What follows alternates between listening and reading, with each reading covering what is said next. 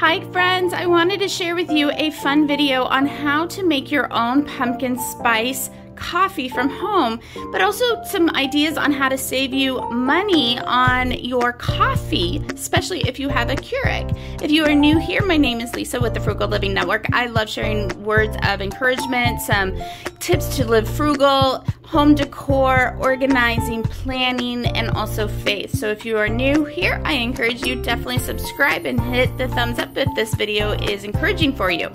So I'm gonna jump in. So a couple of the products that I have uh, gotten to be able to make my own pumpkin spice latte from home is I actually picked up this really adorable little mug at uh, the Dollar General just for a dollar. I just thought it was so cute.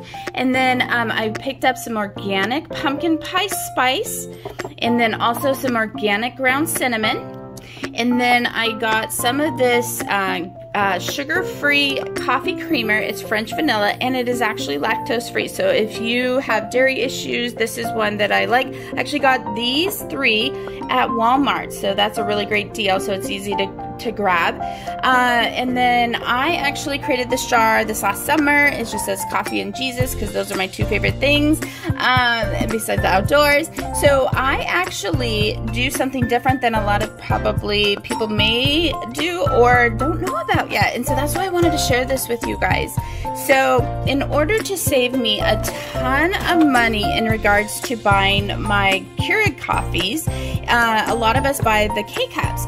Well, those K-Cups can actually just add up, I mean, tremendously on price. Uh, if you go to Costco or, you know, just at the grocery store, I mean, they're anywhere from 8 to $30. That's really expensive. So I actually got these reusable K-Cups. Uh, uh, actually, I was given them to me from Facebook Buy Nothing, which was really awesome. And I hadn't heard about them. And so you can actually pick them up at your local grocery store, Amazon, Bath and Body Works, or Bed Bath and Beyond. You can get them, you know, just your local Target or Walmart.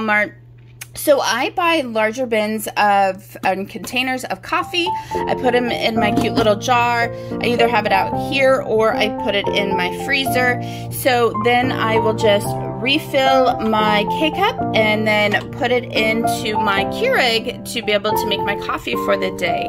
And it is wonderful. It has saved me so much money in regards to buying those K-Cups and it's also earthly friendly. I mean, a lot of those K-Cups, all those paper products, you know, that stuff adds up. And so it's a great benefit not only for your pocket, but also for the earth. So I just, I thought it was so fun just to kind of decorate a little bit, get the home a little cozy for the fall, especially my little coffee bar. So I just added in uh, just like a cute little pumpkin. I've got all of my mugs over here.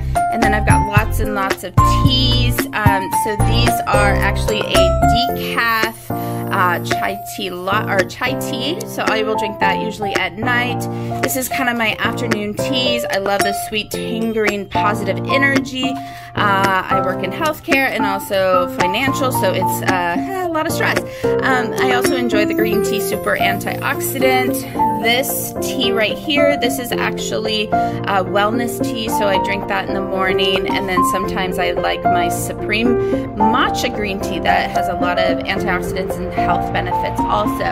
And then in the morning, I just like to turn on my cute little light that I got. Um, I actually got this, it's a oil infuser, so you can put oils in it, uh, and it just, you know, just smells the home like fall. It smells so wonderful. And then I also just have some little candles.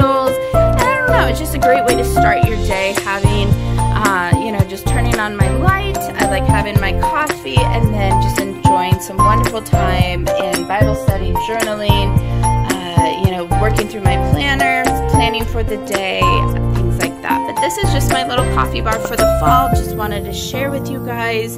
Uh, what is your favorite fall drink? Let me know in the comments below. Would love to hear from you. I would love to hear your recipes. What are you making up for your uh, coffee bar? What are you doing? Uh, anyways, guys, love to have you here as a subscriber. Hit the thumbs up if this is fun for you. Uh, let me know more videos that you would like to see on how to save money.